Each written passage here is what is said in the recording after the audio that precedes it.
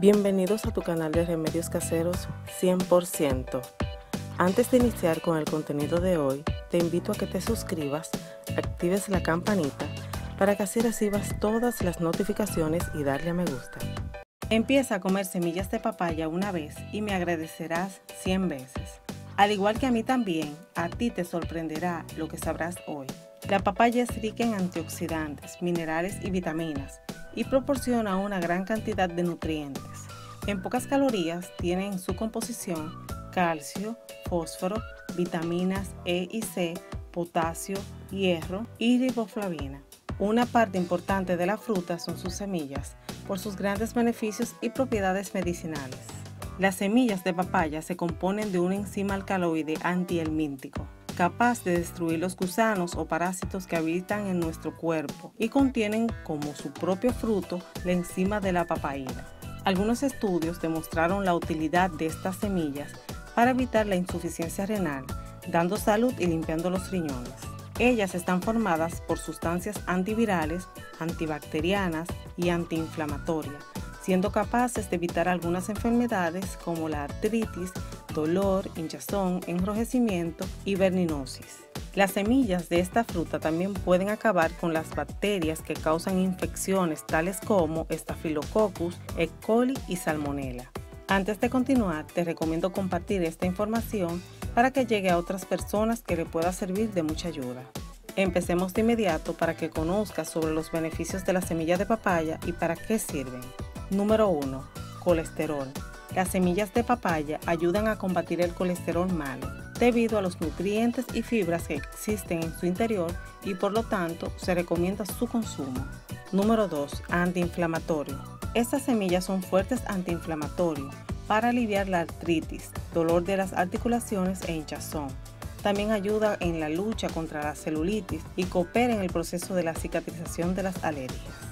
Número 3 antibactericida y antiviral. Incluso pequeñas cantidades de las semillas pueden combatir las bacterias de agentes peligrosos tales como el E. coli, Salmonella y el Staphylococcus, ya mencionadas anteriormente. Número 4. Para los riñones. Las semillas de papaya, además de mejorar la salud de los riñones, ayudan evitando el mal funcionamiento de los mismos e incluso evitan la intoxicación, manteniendo la salud de los órganos al día. Número 5. Antiparásita. Estas semillas contienen agentes llamados alcaloides, extremadamente beneficiosos en el tratamiento contra los gusanos intestinales y las amebas. Ellas también estimulan el metabolismo de proteínas en el cuerpo, creando un ambiente inhóspito para esos parásitos. Número 6. Digestivo. La papaya posee un conjunto de enzimas llamada papaína, que son extremadamente beneficiosas para la digestión de proteínas en el organismo. Si usted sufre de problemas de digestión, este es uno de los frutos que le puede ayudar por ser una buena fuente de fibra y ayuda en el proceso de la digestión natural. Número 7. Para el hígado. Ellas son eficientes en el auxilio del tratamiento de la cirrosis. Basta con 5 o 6 semillas machacadas y mezcladas en sus comidas o jugo. Si usted la comen por un mes, podrá realizar la limpieza del organismo para ayudar en el proceso de la curación y limpieza del hígado.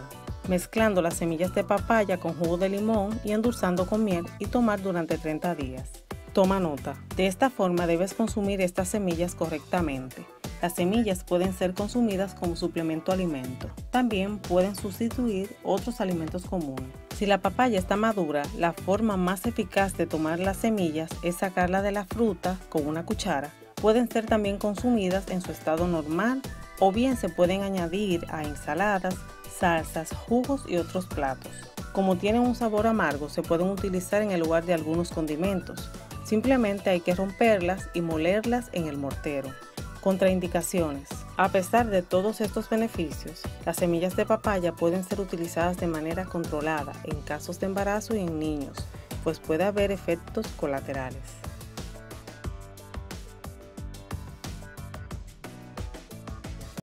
Suscríbete a nuestro canal y recuerda compartir con tus amigos, familiares y ayúdanos a crecer para continuar dando consejos de salud, belleza y más. Tenemos contenido nuevo diario. Dios te bendiga.